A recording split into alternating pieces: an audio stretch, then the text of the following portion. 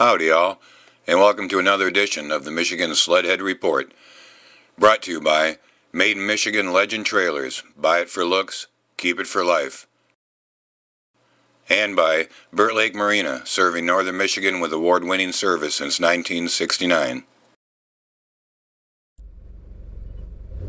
So far, December has been a bit of a disappointment. With above average temperatures and days of rain, November's heavy snow has about disappeared in the lower peninsula. The UP snow belts north of M28 have held on to some of the base and received another 6 to 8 inches of wet heavy snow over the weekend. The temperatures have now dropped below normal and are expected to stay that way for the next 10 days or more. With the cold comes lake effect snow, heavy at times. This should continue throughout the week. From Munising east to the Soo and the higher elevations west of Marquette, you'll find some good riding and improving conditions. So put on an extra layer this week and have fun, be safe, and have a wonderful new year. See you on the trail.